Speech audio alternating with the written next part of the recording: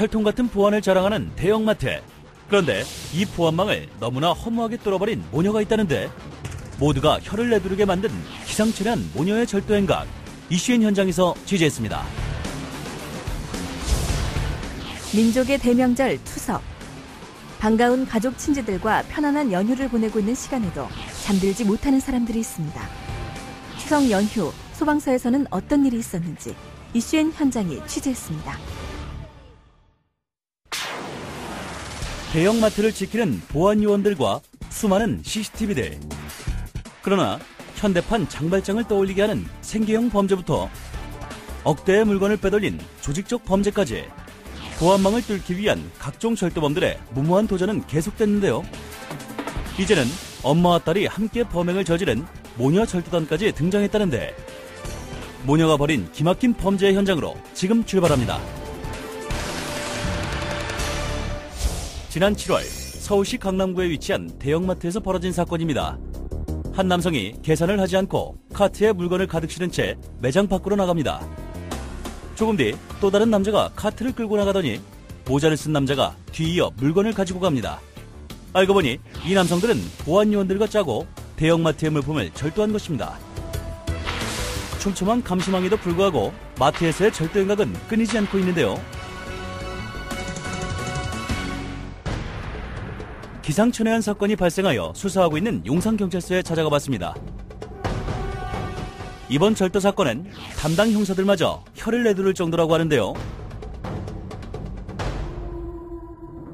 과연 어떤 사건이 벌어졌던 것일까요? 어, 머니와 딸 모녀가 어, 대형 마트에서 어, 신종 수법으로 어, 생필품 등을 절도한 사건입니다. 한 모녀가 마트 안으로 들어옵니다. 모녀는 각각 카트 한 대씩 총 두 대의 카트를 끌고 쇼핑을 시작했는데요. 한 시간 반 동안 쇼핑을 한 모녀. 아무런 수상한 점 없이 쇼핑한 물건을 계산합니다. CCTV에서 계산하는 어머니는 보이지만 같이 쇼핑을 한 딸이 보이지 않는데요. 혼자서 마트를 빠져나가는 어머니. 과연 이들은 어떤 수법으로 범행을 저질렀던 걸까요? 일반인들과 똑같이 카트를 가지고 마트에서 장을 보는 거죠. 어, 다른 점은 모녀가 카트 두 개를 끄- 똑같이 끌고 다니면서 어, 카트에 같은 물건들을 담는 겁니다. 그리고 한 개의 카트는 정상적으로 계산해서 나오고 다른 한 개의 카트는 어, 계산을 마친 영수증을 가지고 다시 들어가서 보안 요원들에게 계산을 한 물건이다라고 해서 빠져나옵니다. 제작진이 범행 수법을 직접 재현해 봤는데요. 각각 한 대씩의 카트를 끌고 쇼핑을 시작합니다. 한 카트에 바나나 우유를 담자 뒤따라오던 카트에도 똑같은 바나나 우유를 담습니다. 이번에도 마찬가지로 쌀 한 포대를 카트에 담자 뒤따라오던 카트에도 똑같이 쌀을 담습니다. 이처럼 두 대의 카트에 똑같은 물건들을 가득 채우는 방식으로 쇼핑을 계속한 건데요. 이제 쇼핑을 끝내고 계산대로 향하는 두 사람. 모녀 절도단의 어머니가 물품을 계산하는 실제 CCTV 장면입니다. 여느 손님들처럼 물품을 계산하고 마트 밖으로 빠져나갑니다. 한편, 1시간 반 동안을 동일하게 물품을 담은 딸은 빈손으로 매장 밖으로 빠져나오는 모습이 포착됐는데요. 마트에 출입구 CCTV 영상에 잡힌 딸. 빈손으로 나왔던 그녀는 어떻게 된 것인지 쇼핑한 물건을 가지고 마트 밖으로 빠져나갑니다. 바로 어머니가 건네준 계산한 카트였는데요. 먼저 정상적으로 계산한 뒤 영수증을 받아 다시 매장으로 들어간 어머니. 빈손으로 나간 딸이 똑같이 물품을 담아놓은 두 번째 카트를 출입구를 통해 몰고 나오는데요. 보안 요원이 제지를 하자 방금 전 계산한 영수증을 보여주고 이미 계산했다고 하며 마트를 빠져나갑니다. 나가는 사람들을 확인하는데 어, 영수증이 있고 영수증에 적혀져 있는 물품과 카트에 담겨져 있는 물품이 정확하게 일치하기 때문에 보안요원들이 계산한 물건이라고 속, 속은 거죠. 범행 다음 날 모녀는 구입한 물품을 가져와 마트의 고객센터로 향했는데요. 전날 구입한 물품 전부를 환불하고 절도한 물품들은 내다 파는 등의 수법으로 현금화했던 것입니다. 그렇다면 마트 측에서는 어떻게 모녀의 범행을 눈치챌 수 있었을까요? 그러면 음, 동일한 카트가 5만 원. 그래서 금액이 좀 커지는 거죠. 안 걸리는 거. 그런데, 네, 그래도 어, 10만 원, 20만 원, 30만 원, 제일 마지막에 그랬다가 43만 원입니다. 그런 부분이 거의 없어요. 수법도 다양해지면서 점점 더 급증하고 있다는 생계형 범죄. 이들은 왜 이런 범죄를 저지르게 된 것일까요? 생필품 값이 많이 올랐거든요. 그러니까 이 구입에 부담을 느끼는 일부 계층들이 발생을 하고 있고 이들이 이걸 직접 구입하지 않고 그 생필품을 훔치는 이런 상황들이 최근에 속출하는 거죠. 이러한 기업형이나 또는 조직적으로 일어나는 생계형 범죄에 대해서는 생계형 범죄라고 부르지 말아야 될 뿐만 아니라 강력한 처벌이 이루어져야 된다고 생각합니다. 경기 불황에 그늘이 짙어질수록 그 수가 급증하고 있는 생계형 범죄. 여러 가지로 살기 힘든 이 시대의 어두운 단면을 적나라하게 보여주는 것이 아닌가 싶어 씁쓸해지기도 하는데요. 국민들을 위해 복지는 증진하되 범죄 행위에 대해서는 강력한 처벌이 필요하지 않을까요?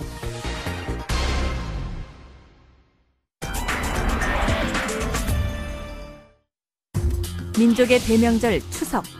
오랜만에 가족 친지를 만나고 즐거운 시간을 보내는 연휴에도 불구하고 묵묵히 자리를 지키는 사람들이 있습니다. 365일 한시도 쉬지 않고 시민들의 안전을 생각하는 소방서에선 지난 추석 연휴 과연 어떤 일들이 있었을까요?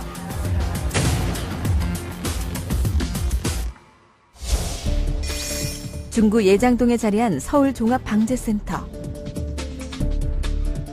119 신고 접수에서부터 출동, 상황 처리, 긴급 구조, 응급 복구 등을 원격 지휘하는 곳인데요. 지난 6월부터 응급 환자 신고 및 상담 전화였던 1339번이 119번으로 통합 운영되고 있습니다. 이비인후과 쪽으로 보실 거예요? 어느 때보다 예기치 못한 응급 상황이나 다양한 사고들이 발생하기 쉬운 추석 연휴. 그래서 이들의 손놀림은 더욱 바빠질 수밖에 없습니다. 지난달 30일 추석 오후 3시경 은평 소방서에 출동벨이 긴급하게 울렸습니다. 구조대원은 제보자와 통화하며 신고 현장으로 정확하고 신속하게 달려가는데요. 안전장비까지 철저히 채비를 마치고 도착한 현장에는 한 할머니가 기다리고 있었습니다.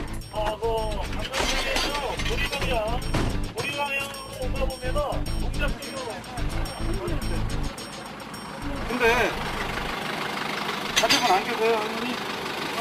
가족들 있는데 이걸 누르면 안 된다. 아 이거 전화번호 그 번호를 알고 계시는데 갈 데가 없는데 어떻게 보여? 그 근데 저희가 그렇게 해드리는 게 아니에요. 이게 어떻게 보면 추석이라 오랜만에 자신네 집에 왔는데 집 안으로 들어갈 수 없어 119에 신고를 한 건데요. 걸린다. 하지만 무작정 문을 열어줄 수 없는 구조대원은 딸의 집으로 들어가게 해달라며 재촉하는 할머니 때문에 난처하기 짝이 없습니다. 그래서 결국 경찰을 불러서 해결하기로 했습니다. 일단 경찰 오면 말씀하세요. 드디어 경찰이 현장에 도착했습니다.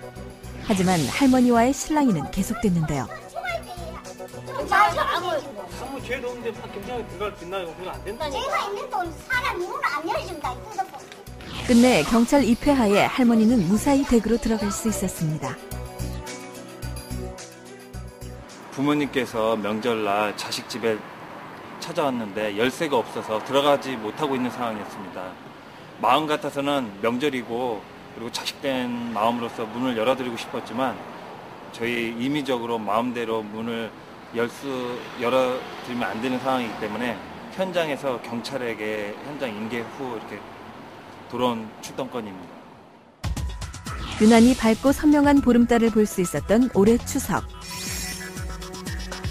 하지만 소방대원들은 보름달을 보며 가족들과 소원을 비는 평범한 일상을 뒤로하고 소방서에서 밤을 지새고 있는데요.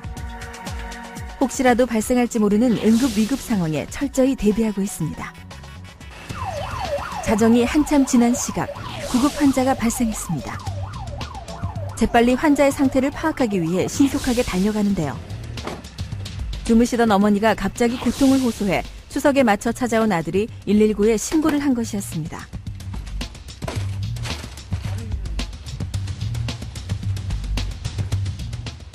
뭐 어디 넘어지시거나 그런 건 아닌데. 그럼 아시죠? 네. 원래 좀 척수염이 좀 있으셨어요.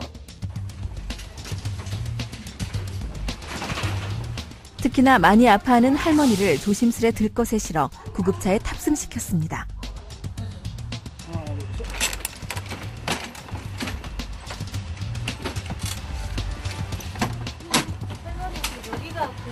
예, 여기가, 여기가. 주무시다가 그냥 갑자기 아파요? 자다가 그냥 사격을 며칠 전에 다쳤어요. 며칠 전에 다치셨어요? 네. 어떻게 다치셨어요? 보다 정확한 진료를 위해 할머니의 상태를 꼼꼼히 물어보는데요. 차에서 내리는데 드디어 인근 병원 응급실에 도착했습니다. 끝까지 편안하게 인도해주는 구급대원들 덕분에 할머니는 빠르고 안전하게 치료받을 수 있었습니다. 보통 추석 기간에는 가족들이 많이 모여 있고 즐거운 분위기 때문에 그런지 많이 드시고 복통 일으키셔서 신고를 하시거나 음주 가무 즐기시고 가시다가 넘어지셔서 다치신 안전사고가 많이 일어나고 있습니다. 아직 어둠이 짙게 깔린 새벽.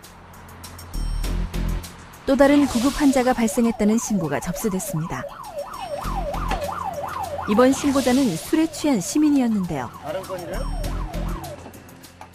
돈이 없어. 이번에, 이번에 그런 거 치료비 내주면 거. 오늘은 그래서 아니 그래서 없어요. 이거 119에 신고하면 자신의 병원 치료 비용을 대신 내주는 줄 알고 전화를 했다는 건데요. 일단. 이렇게 119에 대해 잘못 알고 신고하거나 혹은 술김에 전화하는 등의 허위 신고는 소방대원들을 힘들고 난감하게 하고 있습니다. 지금 아프셔서 저119 신고하신 거죠? 아니, 이 때문에 그 수면제하고 다시 먹어서 속 떨려가지고 전했는데 결국 병원에 가지 않겠다는 시민을 두고 119 구조대원들은 다시 발길을 돌렸는데요. 119로 신고가 접수되면 무조건 현장으로 달려가 확인을 해야 하는 만큼 보다 신중한 신고 전화는 불필요한 출동으로 인한 피해를 줄일 수 있습니다. 그런 거 아니야. 올해 추석 연휴 3일 동안 발생한 구조 활동은 총 1,187건. 그리고 구급 활동은 총 3,380건을 기록했습니다. 안전하고 건강하게 추석 연휴를 보낼 수 있었던 것은 365일 불을 환하게 밝히고 있는 소방대원들의 빛나는 노고 때문임을 잊지 말아야겠습니다.